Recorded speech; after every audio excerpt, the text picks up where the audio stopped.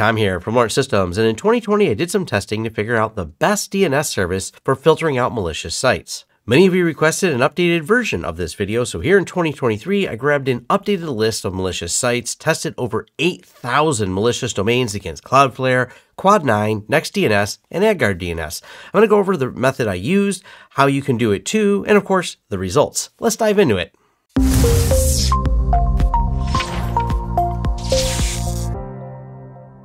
Now, in my last video, I was testing DNS Filter and Cisco Umbrella, but I'm not testing those now because they're not solutions that we use for our clients. If you're interested in what we're using for our clients, it's a tool called Zorus. You'll find a video linked down below if you want to learn more about Zorus for web filtering.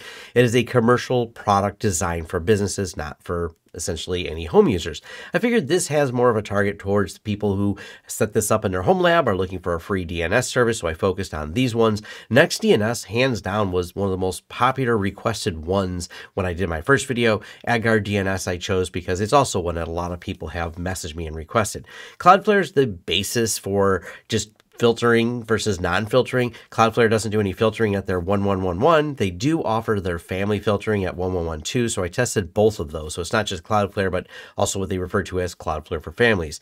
The too long didn't watch this video is I still prefer Quad 9. I've got some videos you can find on Quad 9. They are a non-profit organization dedicated to your privacy and providing DNS. I think they're awesome. But I wanted to take a look at these other ones because many people requested it and why not take 8,000 domains and see how they resolve.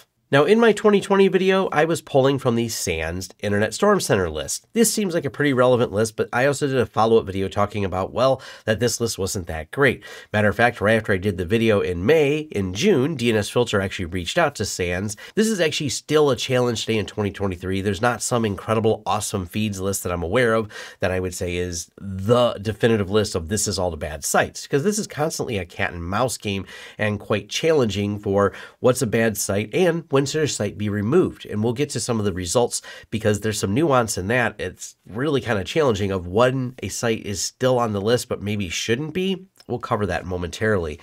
But since the SANS list is gone, I did get the list from Zone Files. They have a pretty extensive compromised domain list, and 17,969 is on there now. But also, I needed to clean this up a little bit, and let me explain why.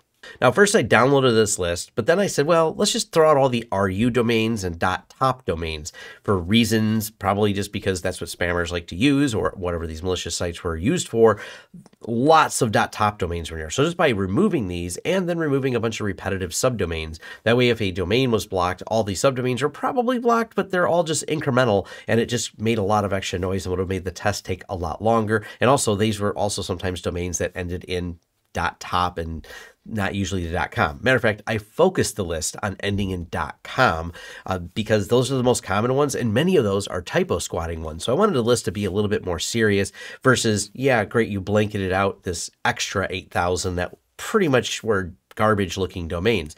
Many of the domains that did make it in once I filtered for .com were a whole lot of typo squatting domains in that list. So you can download that list, but I can't show you the list. As a creator on YouTube, I have learned if I were to show you the list for educational purposes, there's a strong chance YouTube would say, hey, look at that person showing typo squatted domains and stop me from showing it or stop this video from being seen uh, and issue a takedown. This has happened to several of my other tech friends, just sometimes covering cybersecurity. But you can download the list yourself and look through the domains yourself with this methodology.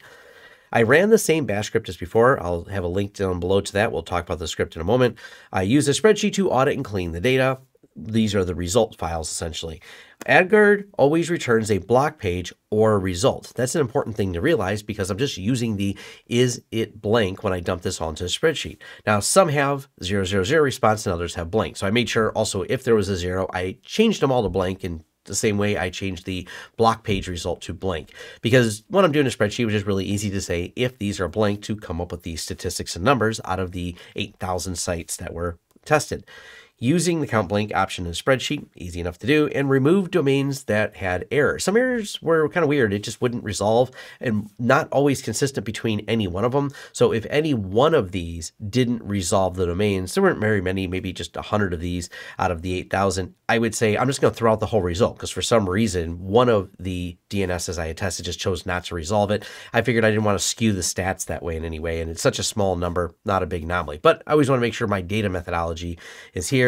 This is the script. Don't bother to screenshot it. It's way easier just to go click the forum post link and you can just copy and paste this and run this yourself. But you see how I put it in there. Now let's talk about the results because this is where things get interesting. Domains resolved out of the 8,333. Cloudflare resolved 2,750 of them, so 33% of them. Now, these are all supposed to be malicious domains. Cloudflare, the 1112, which is the Cloudflare for Families, does 25% of the domains, so 2105.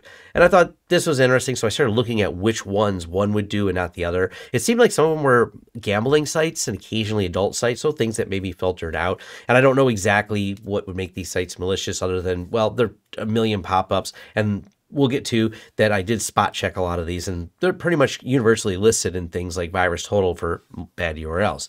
NextDNS actually resolved a little bit more than Cloudflare, nine more domains. So NextDNS, the free version, I didn't have to sign up because I didn't exceed their limits for how many queries I can do from one IP. Um, that was just resolving uh, that most of these sites resolved. So I thought that was strange. It didn't really filter them out. Back over to Quad 9, 0.79%.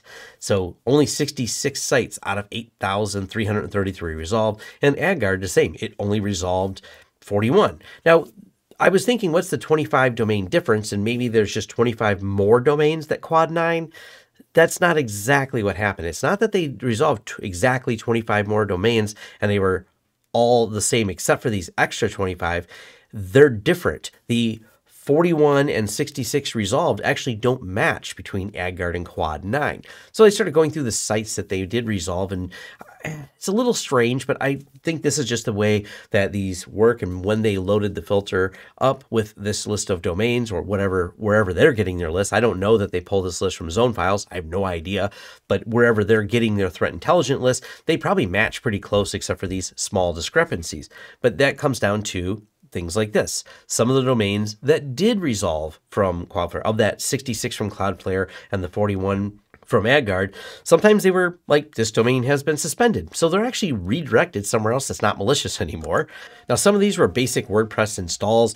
I think they got flagged not because the WordPress install that I could see was infected, but probably when they set it up, they did something really basic and then someone loaded some landing page deeper in there. I it only gives you the DNS. I don't know exactly the full URL. So it doesn't mean there's not something embedded in this Hello World website I came across, but there could be temporarily down for maintenance. I think these were, and this is a common one. There were a lot of down for maintenance that are usually artists' sites. And I say artists like travel bloggers and people who have a lot of graphics intensive things, which are probably a lot of WordPress plugins on their site and probably not maintained.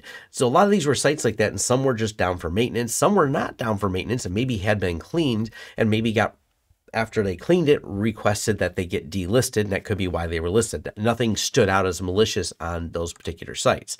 And a whole lot of them that were the extras that resolved by Quad 9 were this. Hostinger seems to be one of the more popular ones, but they're basically parked domains. And they looked malicious because some of these were definitely similar typo squatting, had the word PayPal in it, had the word Microsoft in it. One of them was actually for a Libre, LibreOffice updates, uh, something along those lines. So lots of typo squatting, and but they landed on pages like this. So the site had been taken down. They're just back to a default domain page. Same with a lot of them are for sale from GoDaddy. This was parked courtesy of GoDaddy by this domain. But all the ones that were listed, at least at some point in time, like this one was last analysis a month ago, they were just showing things like, hey, 29 days ago, this was analyzed and it's malicious. So all the different sites that were missed, if you will, by AdGuard and the Quad 9 were on the list at least for going to Virus Total, but it didn't necessarily tell me exactly what's wrong with the site. And it could site could have been fixed. I mean, I've had to work with clients who've been on malicious sites, and then you have to go and try to get yourself unmarked as malicious. Uh, that was definitely a challenge sometimes because you got to figure out where to, you know, unmark it depending on where and who is flagging you. Now, the big challenge from this test is the validity of that source file. This is a challenge I had before with the SANS one I used in 2020, which was completely pointed out to me from the people at DNS Filter. I had a conversation with them just about how kind of wrong it is. And if this filtering never gets updated because of a site being temporarily marked malicious, should it still be on the list? How long should it be? If someone ends up with a malicious break in their site because someone took it over and then they pay someone to clean it all up and get it fixed, how long should they still remain on there? Especially a lot of these travel bloggers and things like that. They're just kind of personal sites that you know, they're not really doing typo squatting. They didn't have malicious intent. They accidentally became malicious, but then get fixed.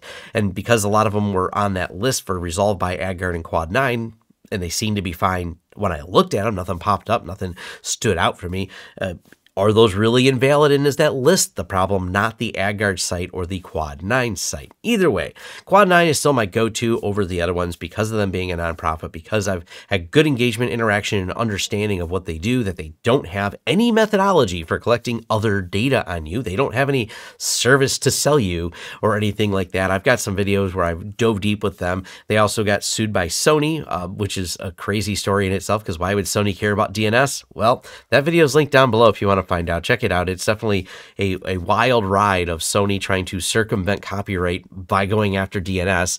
Uh, kind of blew my mind what it makes you realize just how awful of a company Sony is, by the way. Let me know in the comments down below which DNS is the one you like, what other things I could do the test, and if you find my test flawed, please. There's a reason I left all the data for how I did this out there. I want one, you to be able to do this. If you would like to test some other DNS service that I didn't, well, there's the bash script. You can run this yourself.